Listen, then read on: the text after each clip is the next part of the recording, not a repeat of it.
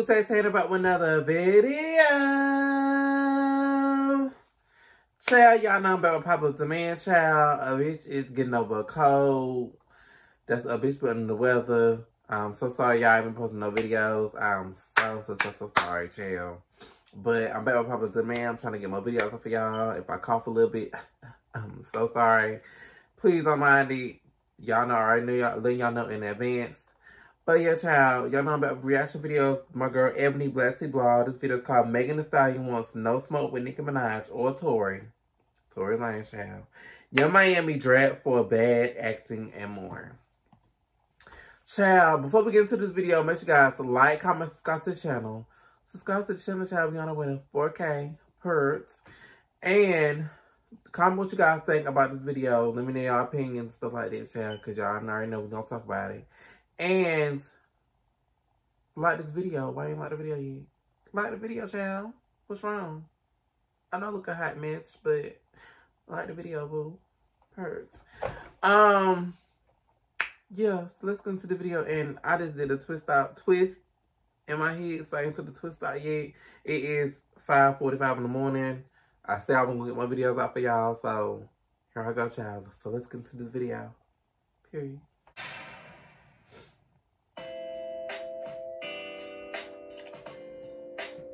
Guys, welcome back to my channel. It's hey, Ebony girl. Topics to discuss in this video.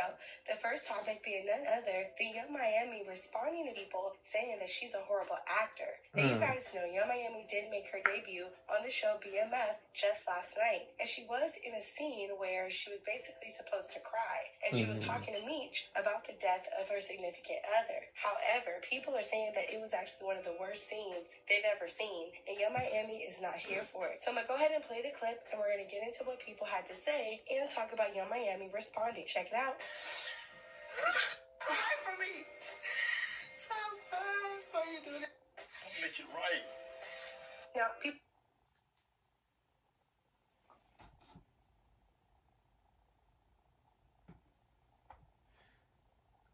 Miami, what the fuck was that? Girl, now you know they gonna well, ain't no they gonna crying, girl. You supposed to get in tears. You supposed to they gonna girl. What was that? social media to kind of voice their opinion.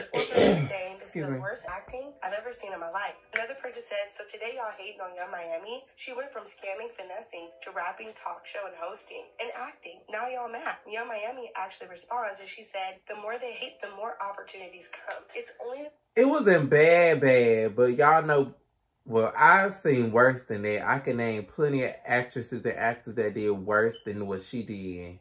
So, let it be beginning for me. Another she done got her money. She done got her shit. She ain't worried about what y'all talking about. Last night, she's so funny. Yung Miami says it wasn't funny, lol. So look, you guys, everybody has to get their feet wet when it comes mm-hmm. to new creative um, processes, right? For example, Yung Miami is used to being a personality, mm-hmm. so she's not really somebody who's out here trying to land major A-list, mm-hmm. you know, mm-hmm. movie deals. She's getting her feet wet and she's learning. Everybody not gonna like what you so do. I don't think it's fair to say that she was the worst actor on TV. I don't think that that is fair mm-hmm. at all. Mm-hmm. I think Yung Miami did her best. Were there parts where I feel like she could have improved? Absolutely. Mm-hmm. But at the same time, I'm no actor or actress coach. Exactly. So just because I want to see something as a customer does not mean that that is what the scene was actually calling for. Mm-hmm. And I really do think that some of y'all just be mad at okay, Miami for no Miami. reason. But that's just my opinion. And you guys will let me know what you think about it down below. Do you think Yung Miami gave the worst performance you have ever seen before? Well, let me know. Mm-hmm. All right, you guys, let's go into the next topic. Something that's super anticipated, and that's Megan Thee Stallion announcing her return and also her producer saying she doesn't want to write a diss track. She wants to put everything behind her, mm-hmm. including Tory Lanez and Nicki Minaj. Now, according to Megan Thee Stallion and her team, she is officially coming back to headline. And you know, she's been gone for a while. She got to come back and make some coin. Since the Tory Lanez verdict. And she's gone for money. Come on. Because I think Megan is really trying to watch the market and also watching mm-hmm. people are still going to support her after there's so many people divided over this verdict. Now, Megan Thee Stallion team says this. She is now confirmed to headline the AT&T Block Party as part of the 2023 NCAA March Madness Music Festival in Houston. This is hailing from Houston. You guys know that Megan Thee Stallion is a Houston native, allegedly. Mhm. She's also a three-time Grammy Award-winning artist and philanthropist and entrepreneur. Now, people are saying that she is ready to Oh, this gonna be in Houston. Oh, y'all know she's gonna show up for that town. And So Megan has city, been so to be unstoppable. Now, this event would actually take place in two weeks, March 31st through April 2nd, and it will be held at the Discovery Park in Houston,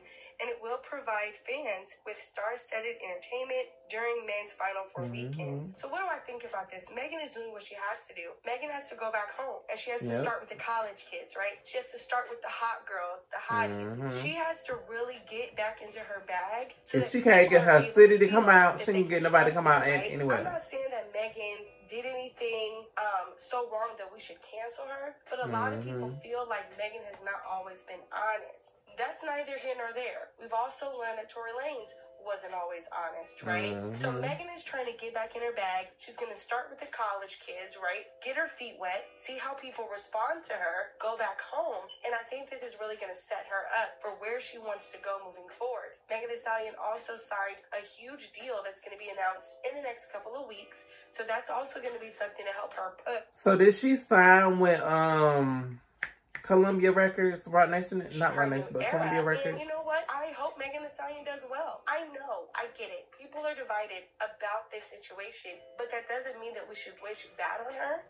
Also doesn't mean that she deserves to be tormented because of her truth, if that makes sense. So I wish her the best. I think she's going to do a great job. And speaking of Megan, a lot of people have been running this story that Megan Thee Stallion was gearing up to release a diss track against Nicki Minaj. Well, Megan Thee. Stallion's producer is saying, why would she ever even do that? You guys know Nicki Minaj released her song Red Ruby Da Sleeze. There were Mhm. several lines in that song that people felt were directed towards Megan Thee Stallion, i.e., one of those lines being, I don't F with horses since Christopher Reeves. We also saw Nicki go to Rolling Loud, where she got on the stage with Lil Wayne, and she said it again. Mm-hmm. I don't F with horses since Christopher Reeves.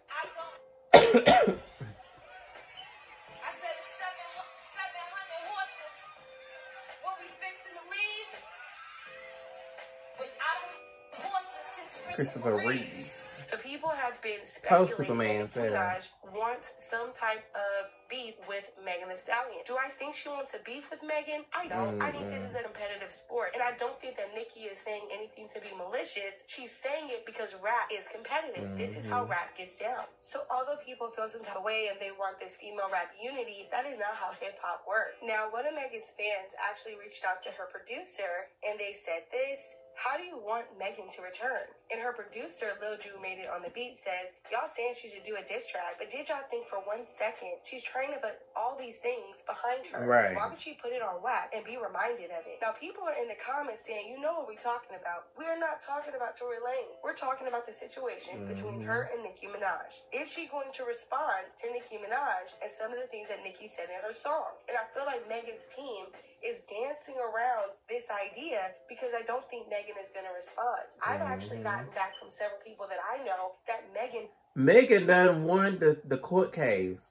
So she not worried about Tory Lanez no more. Tory gonna be serving time in prison, whatever he probably doing, whatever they serving with, whatever, whatever, whatever. Megan done won. So Megan done won, she not worried about that case no more. So what she gotta respond to? She won the case. So if she won the case, she ain't gotta worry about Tory Lanez no more. She gotta worry about if she can see dropping shit, Lord Jesus.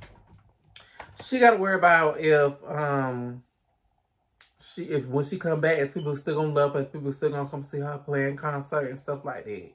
She not worried about any of the other shit, girl. Please. does not want to respond to Nicki.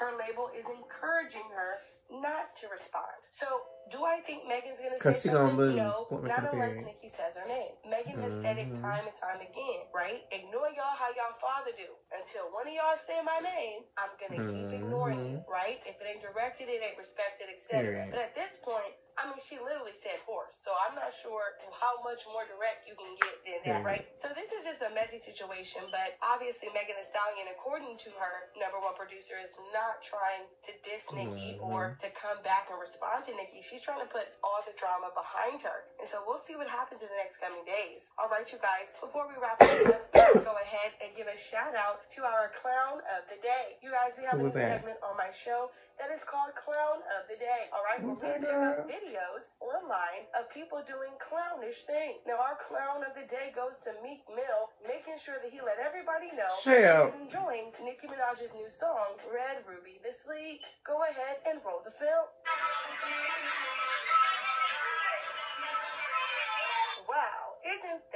Interesting? So congratulations, Meek Mill. You have been crowned Clown of the Day. And I want to hear what you guys think about this down below. Don't forget to subscribe. Child, Meek Mill is the least of our worries, child. I ain't worried about him, ain't worried what he got going on, child. He ain't even relevant, relevant no more in this industry. But anyway, child. Um, yeah, Miami, we we done seen better acting and stuff like that. Yes, you might need some old um, not vocal coaching, but you need a acting coach.